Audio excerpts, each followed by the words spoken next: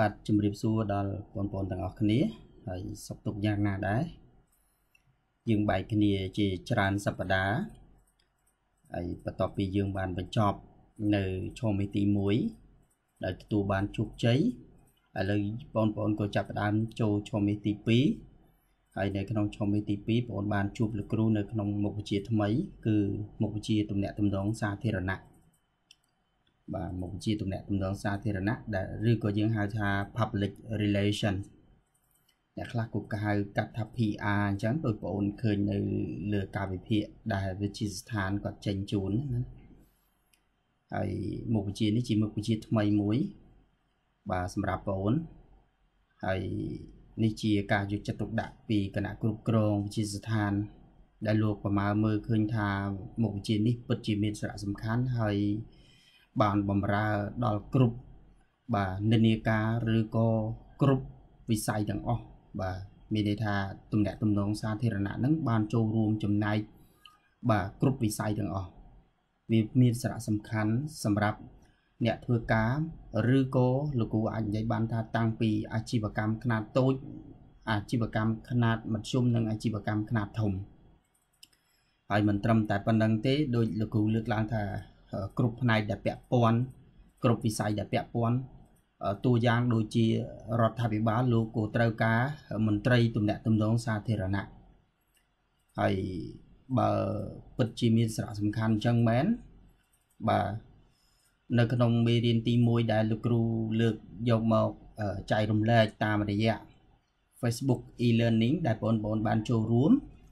ហើយជាការចាប់ផ្ដើមបងអាច comment ឈ្មោះ របស់បងអូនឬក៏បងអាចឆែកមើលនៅលើលេខរៀងបាទបញ្ជីវត្តមាននៅខាងលើបាទន័យថា cover នៃក្រុមបងប្អូននេះបងអូននឹងបានឃើញហើយបងអាច comment មកដើម្បីឲ្យងាយស្រួលដល់លោកគ្រូបានស្រង់វត្តមានឲ្យបងអូននៅពេលវេលាថ្មនេះដែលបងអូនកំពុងតែ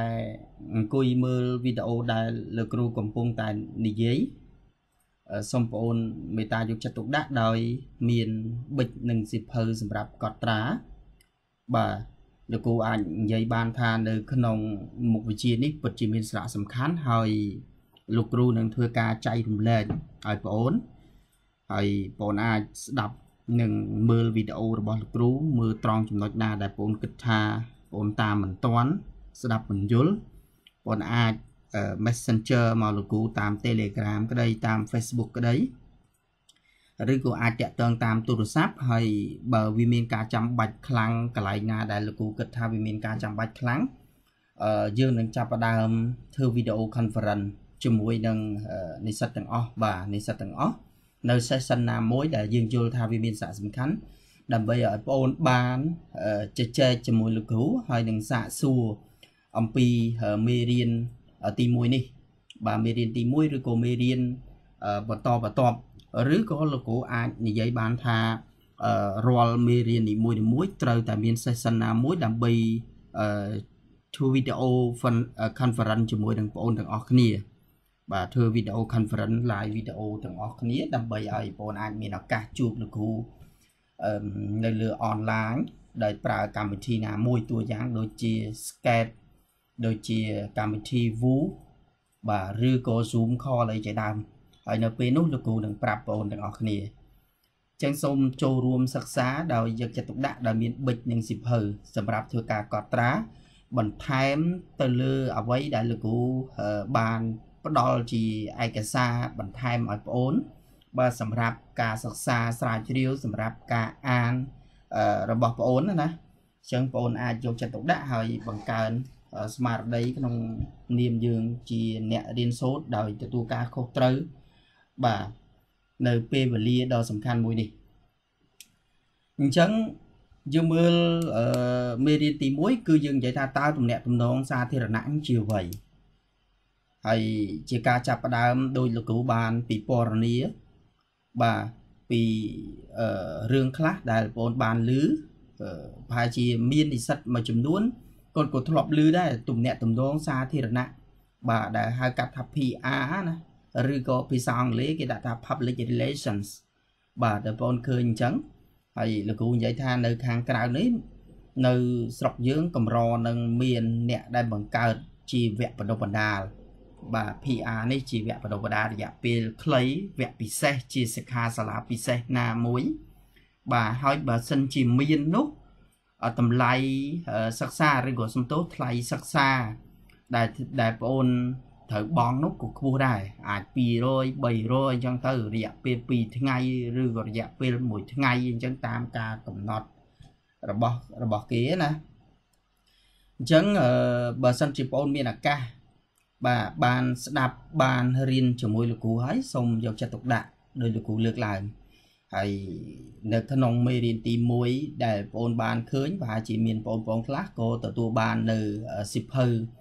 បាទសិភៅមេរៀនពីវិទ្យាស្ថានដែលលោកនឹងចែកឲ្យហើយបងណាដែលអត់ទាន់បានបងអាចតាក់ទងឬក៏អាចខ្ចីគ្នាយើង ដើម្បីទទួលបានមួយសិភៅនេះសម្រាប់ការសិក្សាបន្ថែមទៅលើអ្វីដែលលោកគ្រូបាននិយាយហើយនៅក្នុងមេរៀនទី1ក៏ដូចជាមេរៀនបន្តបន្ទាប់លោកគ្រូក៏នឹងបូកបញ្ចូលនៅចំណុចសំខាន់សំខាន់ទាំងឡាយបន្ថែមទៅលើអ្វីដែលមាននៅក្នុងសិភៅនេះ បាទហើយជាអ្វីដែលបងបានដឹងហើយថាអឺលក្ខខណ្ឌឬក៏ការវិតម្លៃដើម្បីបញ្ចប់មុខវិជ្ជានេះ គឺបងចាំបាច់ត្រូវតែមានវត្តមានចូលរួមដោយសារតែមានបញ្ហារឿងការរីករាលដាលបាទ COVID-19 ជាសកលដូច្នេះបាទយើងមិនអាច មកជួបមករៀនសូត្រដោយអ្វីដែលបងអូនបានសិក្សាឬក៏មករៀនកន្លងទៅដោយអង្គុយនៅក្នុងថ្នាក់ហើយស្ដាប់លោកគ្រូបញ្យលគ្រាន់តែយើងបដូររបៀបអឺរៀនរបស់យើងបាទមកបើក Facebook ឬក៏បើកវីដេអូនេះហើយលោកគ្រូនឹងអាប់ឡូតនៅវីដេអូមេរៀននីមួយៗនោះចូលទៅក្នុង Channel YouTube របស់គ្រូដើម្បីឲ្យបងអូនអាចមានឱកាស បាទបានស្ដាប់សារចុះសារឡើងឬក៏អាចមកពីប្រព័ន្ធអ៊ីនធឺណិតរបស់បងអូនជឿតពិបាកក្នុងអឺពិបាកមើលវីដេអូដែលលោកគ្រូបង្ហោះនៅក្នុង group បាទនៅក្នុង group ដែលមាននៅលើ Facebook នេះ បាទក្រែងមើលនៅលើ Facebook ដោយសារលបឿនអ៊ីនធឺណិតអ៊ីនធឺណិតបាទសំទោសយើងយឺតយើងបើកតាម SIM ណាអញ្ចឹងយើងអាចបើកមើលតាមរយៈ YouTube បាទគោជាផ្នែកមួយជំរុញឲ្យការបើកនោះកាន់តែមានភាពងាយស្រួលសម្រាប់បងអូនហើយដោយអ្វីដែលលោកគ្រូធ្លាប់លើកអំពីទំនាក់ទំនងសាធារណៈវាពិតជាមានសារៈសំខាន់ហើយវាជាប់ពាក់ព័ន្ធទៅនឹងជំនាញប្រស្រ័យតាក់ទងវាជាប់ពាក់ព័ន្ធទៅនឹងជំនាញ marketing បាទវាមានទំនាក់ទំនងទៅលើកិច្ចការងារផ្សាយពាណិជ្ជកម្មហើយនៅក្នុងប្រទេសរបស់យើងនេះគឺថា សម្រាប់អ្នកដែលមានជំនាញទំនាក់ទំនងសាធារណៈនេះគឺគាត់ក៏មានឱកាសខ្ពស់មិនចាញ់ប្រៀបជាមួយនឹងអ្នកដែលមានជំនាញផ្សេងផ្សេងទៀតដែរមានថាឱកាសការងាររបស់ពួកគេដែលមានជំនាញទំនាក់ទំនងសាធារណៈនេះគឺមានឱកាសខ្ពស់ដែលអាចទៅធ្វើការងារនៅក្នុងក្រុមហ៊ុនសាជីវកម្មបាទក្រុមហ៊ុនខ្នាតតូចខ្នាតមធ្យមនៅក្នុងប្រព័ន្ធផ្សព្វផ្សាយ បាទនៅនៅក្នុងកិច្ចការងារជាមួយនឹងក្រសួងស្ថាប័នរបស់រដ្ឋ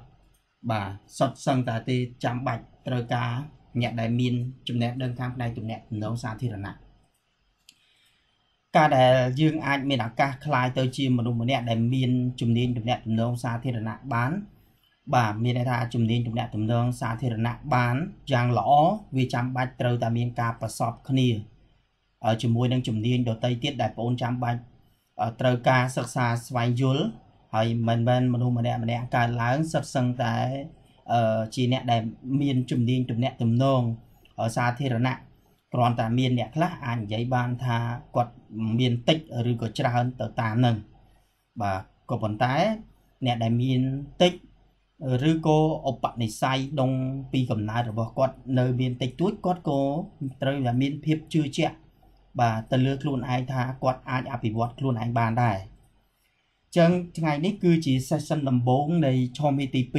2បាទលោកគ្រូគ្រាន់តែធ្វើការណែនាំហើយនឹងសង្ខេបអំពីវត្ថុបំណងនៃមេរៀនក៏ដូចជា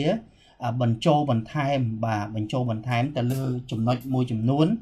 ដែលវាពាក់ព័ន្ធទៅនឹងទំនាក់ទំនងសាធារណៈនេះបាទឲ្យបងអូនបានដឹង បានលឺហើយអាចធ្វើការកត់ត្រាបន្តិចបន្តួចតាមរបៀបដែលបងអូនជាអ្នកសិក្សាណាហើយហើយនៅក្នុងមេរៀនទី1ដែលលោកគ្រូចាប់ផ្ដើមនេះលោកគ្រូមិនទាន់ធ្វើការបង្ហាញឲ្យបានស៊ីជម្រៅឬក៏បន្ថែមទៅលើចំណុចណាឲ្យបានច្រើននោះទេគ្រាន់តែជាការចាប់ផ្ដើមហាក់បីដូចជាសេចក្តីផ្ដើមឬក៏ឬក៏ជាការណែនាំឲ្យស្គាល់នៅមុខវិជ្ជានេះ ដល់បងប្អូនហើយលោកគ្រូអាចនិយាយបានថាតម្រូវការឬក៏លក្ខខណ្ឌដែលបងត្រូវបញ្ចប់មុខវិជ្ជានេះលោកគ្រូសូមបន្ថែមទៅពីខាងដើម គឺបងត្រូវតែចូលរួមបាទនៅក្នុងការនៅលើ Facebook group នេះគឺបងត្រូវតែមានសកម្មភាពបាទបងស្ដាប់ហើយបងមានចម្ងល់បងអាច comment សួរហើយសកម្មភាពរបស់បងអូននោះគឺលោកគ្រូនឹងធ្វើការកត់ត្រា បាទលោកគ្រូនឹងយកវត្តមាន បាទហើយយើងធ្វើការប្រឡងដូចគ្នាគឺ25លើ40សម្រាប់ប្រឡងត្រីមាសឬក៏ mid term បាទហើយសល់15%ទៀតគឺ assessment ពីលោកគ្រូជាកិច្ចការដែលលោកគ្រូដាក់ឲ្យបងអូនធ្វើការស្រាវជ្រាវបាទឬក៏ធ្វើការអាននៅចំណុចណាមួយបន្ថែមទៀតដើម្បីឲ្យបងប្អូនបានឆ្វេងយល់កាន់តែច្រើនអំពីមុខវិជ្ជាទំនាក់ទំនងសាធារណៈ អាចជាករណីសិក្សាជា case study ណាមួយហើយបើសិនជាពិបាកយើងអាចធ្វើជាម្នាក់ម្នាក់ឯងបាទឬក៏អាចធ្វើជាក្រុមហើយនៅពេលនោះលោកគ្រូនឹង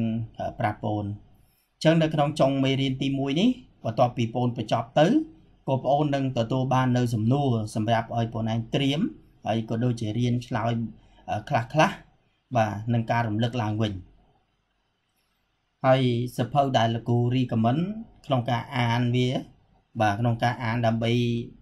កាន់តែងាយស្រួលយល់ទៅលើទំនាក់ទំនងសាធារណៈនេះលោកគ្រូសូមឲ្យបងអានសភៅដែលសាលាគាត់ផ្ដល់ឲ្យទី1ទី2ជា case ឬក៏ជាឯកសារបន្ថែមដែលលោកគ្រូនឹងអាចផ្ញើឲ្យបងឯងតាមរយៈ Telegram ឬក៏ Messenger នៅក្នុង Facebook ឬជាមធ្យោបាយអីដែលលោកគ្រូអាចឲ្យបងឯងមើលដើម្បីបង្កើនគុណភាពនៃចំណេះដឹងរបស់បងហើយទី3សម្រាប់បងដែលមានពេលវេលាច្រើន បាទមានពេលវេលាច្រើនហើយស្រឡាញ់នៅក្នុងការអានបងទៅមើលសភៅជាភាសាអង់គ្លេសមួយគេដាក់ថា effective public relations មានមានអ្នកនិពន្ធមានអ្នកស្រាវជ្រាវជាច្រើន បាទដែលបានចងក្រង ដែលបាននិពន្ធសភៅទំនាក់ទំនងសាធារណៈនេះហើយមានការដាក់លក់ចំណែកនៅក្នុងប្រទេសរបស់យើងបើតាមលោកគ្រូដឹងគឺមិនទាន់មានពីណាដែលគេសរសេរសភៅបាទទំនាក់ទំនងសាធារណៈឬក៏បកប្រែ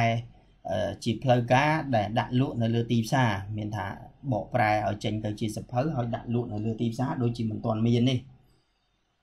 បាទគ្រាន់តែធ្វើជាឯកសារក្រៅផ្លូវការសម្រាប់ការបង្រៀនផ្ទៃក្នុងរបស់គេតួយ៉ាងដូចជាបងអូនដែលកំពុងកាន់សិភៅនៅក្នុងដៃនេះណាបាទអញ្ចឹងនៅក្នុងមេរៀននេះលោកគ្រូនឹងធ្វើការដកស្រង់បាទពីចំណុចខ្លះខ្លះមុនពេលដែលយើងចាប់ផ្ដើមបាទនេះជាសមាសធាតុបាទលោកគ្រូមិនទាន់និយាយពីរឿងវត្ថុបំណងអីសំខាន់សំខាន់ទេ គឺនិយាយតែសមាសធាតុអីជាមុនសិននិយមន័យអីឬក៏មិនទាន់បានណែនាំប្រាប់បងដែរគ្រាន់តែចង់ប្រាប់បងថាសមាសធាតុនៃទំនាក់ទំនងសាធារណៈបាទទំនាក់ទំនងសាធារណៈយើងមានអី media relation បាទទំនាក់ទំនងប្រព័ន្ធផ្សព្វផ្សាយហ្នឹងជា publicity ជាការប្រកាសសាធារណៈបាទប្រកាសផ្សាយជាសាធារណៈមាន employee បាទនិយោជិតឬក៏បុគ្គលិក member relation បាទសមាជិកនៃក្រុមទំនាក់ទំនងហ្នឹងមានទំនាក់ទំនងជាលក្ខណៈសហគមន៍បាទមានកិច្ចការងាររដ្ឋាភិបាលបាទមានអីមាន issue management បាទថាក្រមដែលគេហៅថាក្រមថ្នាក់លើណាថ្នាក់លើដែលគេ